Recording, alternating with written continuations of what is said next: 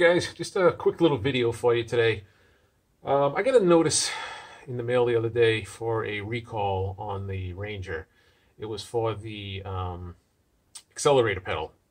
And I guess what was happening is some of the uh, gas pedals were sticking on some of the models and they wanted to um, just go ahead and replace that unit so that uh, people wouldn't have any incidences.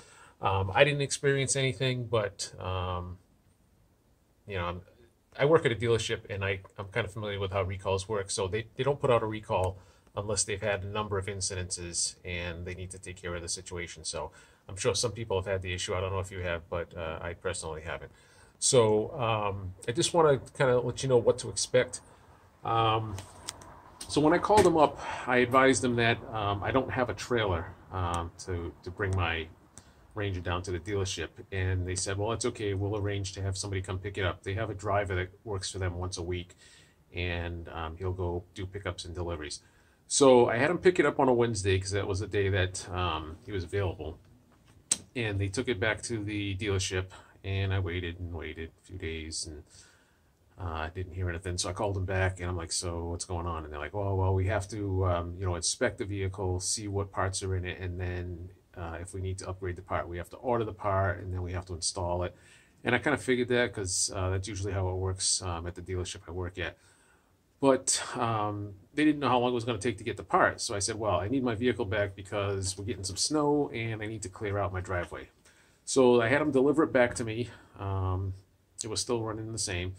And then, oh, maybe a couple of weeks later, uh, they called and said, okay, your part's here and then I had to wait for another Wednesday when the drive was available, and um, they came down, picked it up, and it's a pretty easy install. Um, they did it probably in an hour or so, and then brought the vehicle back to me the same day.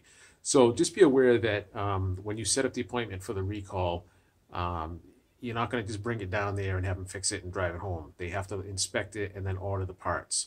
Um, you might want to check to see if they have the parts in stock before you bring it down there. Sometimes they do, but sometimes they only order them specifically for the vehicle. Um, so you might want to check into that before you arrange to have it looked at. But let me show you um, what it was they replaced.